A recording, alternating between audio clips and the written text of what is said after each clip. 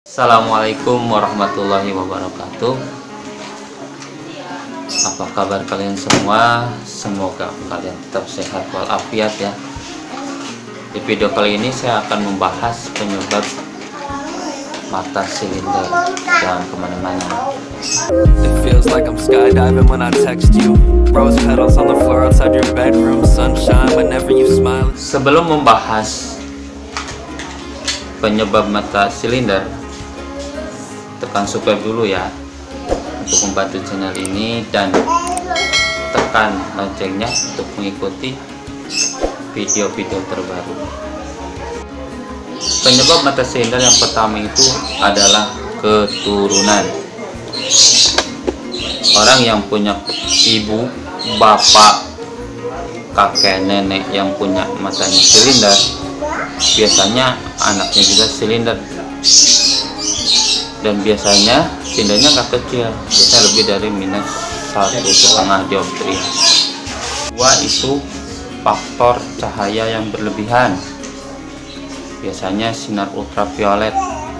Itu biasa ada di layar komputer TV bahkan sekarang bukan sinar ultraviolet lagi ada juga sinar biru yang bisa menyebabkan mata silinder kenapa bisa menyebabkan mata silinder? Karena kornea kita itu bisa terkikis sama sinar itu.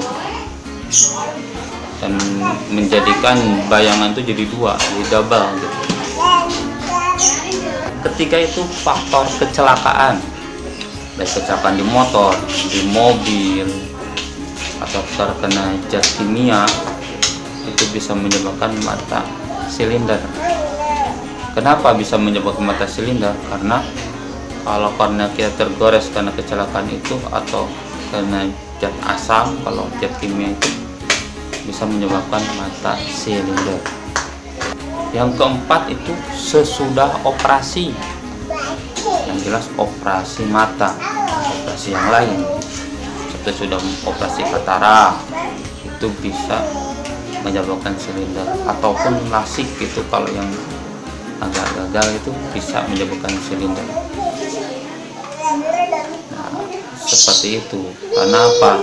Biasanya orang yang operasi operasi mata itu bisa aja si korneanya itu karena ya tajam ya benda-benda tajam. Jadi bisa menyebabkan mata silinder. Yang kelima itu penyakit. Nah, ini banyak penyakit yang bisa menyebabkan mata silinder. Apa aja? Yang pertama itu keratokonus atau matanya itu si kornea itu mirip seperti kerucut seperti ini. Jadi kalau orang normal itu gini cembung ya. Dia kayak kerucut pinggirnya kikis itu biasanya menyebabkan mata silinder. Yang kedua penyakit petosis. Apa itu petosis itu? Petosis itu yang susah mengangkat hmm, kelopak mata ini. Kalau dia gini tuh nggak bisa nggak bisa gini. Tapi gini aja matanya. Tidak bisa gini. Menurut itu nggak bisa orang petosis biasanya itu juga eh, bisa menyebabkan mata silinder tiga itu bisul. Oh bisul apa? Bisul di kelopak mata. Di sebelah sini nih atau sebelah sini. Itu juga bisa menyebabkan eh, mata silinder tapi bukan bintitan ya. Bisul ada bisul ada bintitan.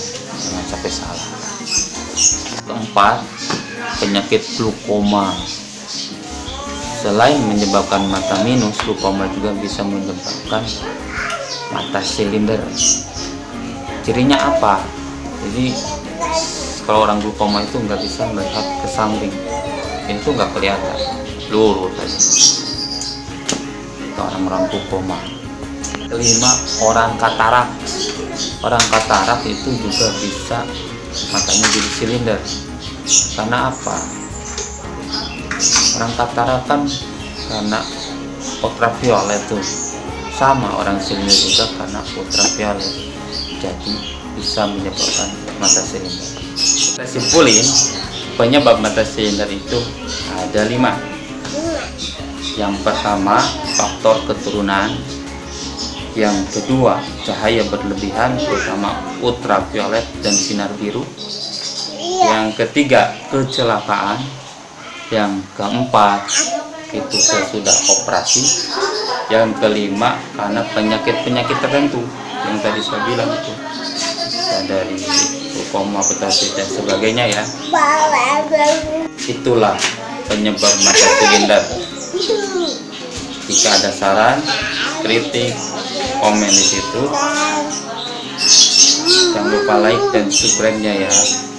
Terima kasih. Assalamualaikum warahmatullahi wabarakatuh. Dadah